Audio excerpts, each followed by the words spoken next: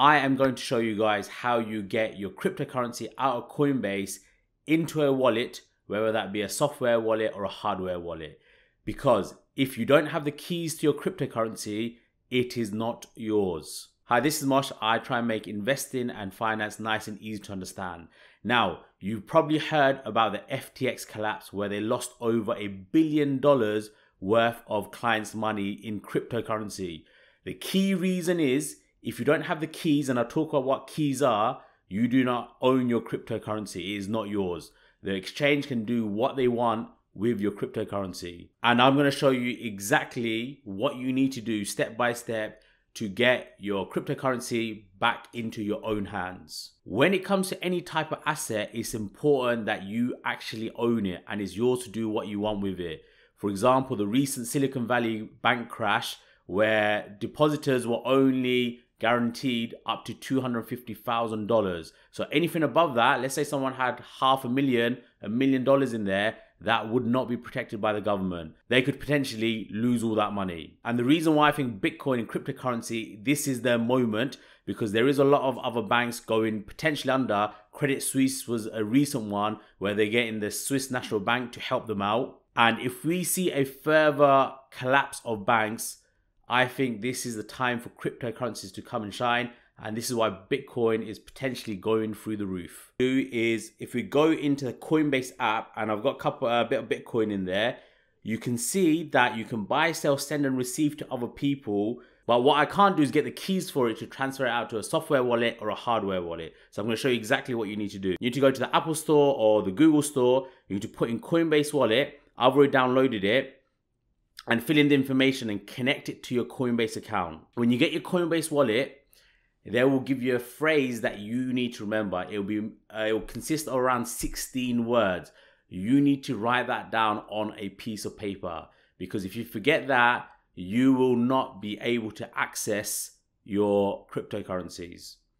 All right, so it says add crypto to get started. So add crypto and it says connect my Coinbase account. So I'm going to do that okay? And you just have to give it authorization.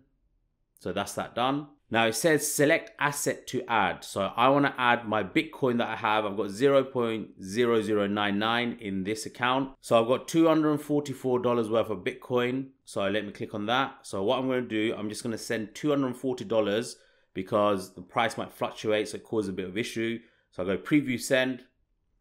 All right so i'm transferring 0.00985 of Bitcoin into my Coinbase wallet. So I'm going to confirm, and there's a network fee of just over a dollar, which is a little bit expensive. This is why I recommend doing large amounts of small amounts regularly. So I'll put the code in and you send 230 worth of dollars, but remember, dollars is irrelevant. It's the amount of Bitcoin to my software wallet. Okay, I'm going to press done. The key thing when it comes to the wallet, if you go into your settings and it says uh, show recovery phrase, you need to make sure that you remember it and back it up, write it down somewhere so you never forget this. Because it says your secret recovery phrase is used to recover your crypto if you lose your phone or switch to a different wallet. Because crypto is always on the blockchain, it cannot get lost or disappear into nothingness. It'll always be there as long as you've got your recovery phrase ready to hand. Now, if you don't trust having your crypto in a software wallet, what you can do is put it onto hardware wallet, for example, like the Nano Ledger. That will keep it safe. If you're using a software wallet or a hardware wallet, the key thing is to keep your private keys safe. I would recommend what I personally do, I physically write down a piece of paper and keep that hidden away in a place where I know I only know where and I make another copy in a completely different place and a different house to be honest. Um, so I've got a second copy of it. I would not recommend keeping it in your phone in the notes or something like that because if someone has access to your phone and they get your private keys, you it is not your crypto. They can easily withdraw that and take that out. And remember, if you want a free share worth up to £100 with Freetrade or trading 212, you can use my link in the box below. Open up account, deposit £1, and they'll give you a free share. So it's definitely worth doing.